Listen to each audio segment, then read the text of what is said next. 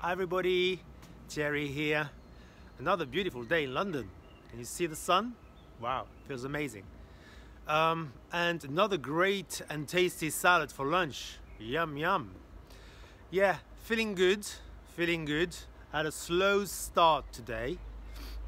I just could not get out of bed, and I'm not one to have a lie in. Um, I mean, I, I woke up at seven, as I usually do, but I just couldn't get up. Uh, my head felt really heavy, as in I felt like I had um, uh, like a like a like a, um, a heavy weight um, just resting on top of my head, stopping me from thinking uh, and and just getting on with whatever I had to do.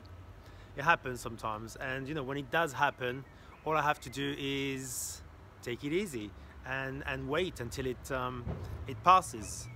So uh, now I feel a bit better, I had a shower, I had lunch. Again, when I have my lunch, I always feel better. You know, when I see all these colors, when I chop things away on my green chopping board, um, I start to, you know, the, this feeling of heaviness, of oppression, you know, starts to um, subside. And um, although it's a slow day, you know, I'm still up and about and doing things, and I've got to accept that. You know, it's part of you know living with depression. So um, today I want to talk about I want to talk about um, um, yeah the feeling of uh, the feeling of being an outcast, um, which basically triggers also um, depression at times. You know, I mean, we all like to think we all like to think that we are unique and very special, and we all are very unique and very special. Uh, but I truly believe that I am extra unique and extra special. so, um, well, I, you know, I, I, I believe that I was um, put on this earth to to fulfill, you know, um, a, a, mission, a, you know, a, quite a heavy duty task, which is basically to change the way people feel about stretching and flexibility. And um, and although I'm very proud of you know what I've achieved so far, I also feel at times that uh, progress progress um, can be uh, slow. Um, and that is because, you know, when you are a visionary, which I think I am, when you are a uh, train setter, which I think I am, when you are um, a leader, which I think I am, um, and you offer something totally new and you know out of this world, which I think I do, then your job is a little bit more difficult you know? It's not it's not going to be it was never going to be a plain sailing uh, journey. It was always going to have you know bumps along the way. Um, and that's fine and I accept it and I and I embrace them and I totally get it you know?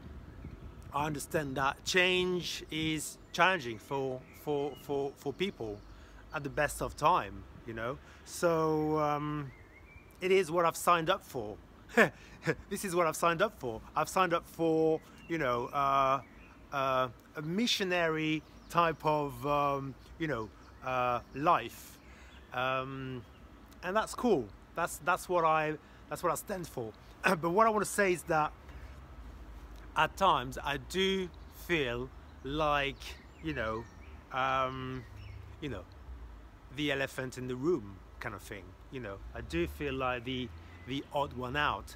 And most of the time I'm very comfortable with that feeling. But at times when I'm not feeling so great about myself then you know I struggle with it you know.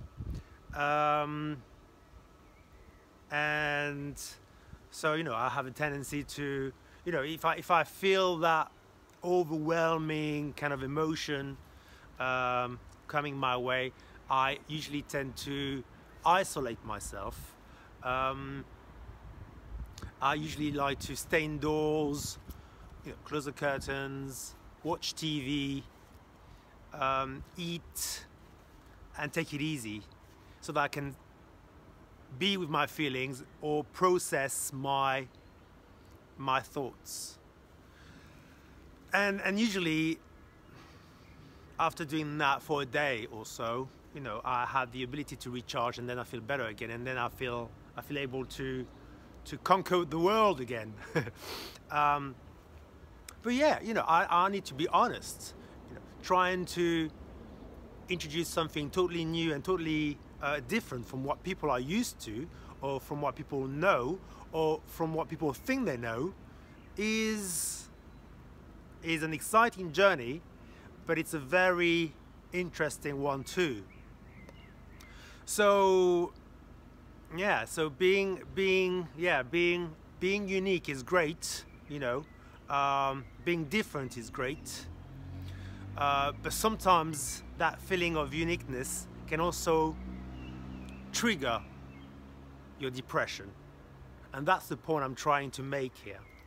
Um, doesn't mean you have to stop being unique uh, you just need to be aware that sometimes it will make you feel isolated because you're you know you're you know if you're ahead of the game ahead of the game doing something and people are not yet following you or not as many people are following you uh, as you would like to then yes you're going to feel you're going to feel that way especially when you know that uh, what you believe in uh, can make a strong impact in their life you know and everywhere everywhere, you know, not just here in London, everywhere in the world, you know.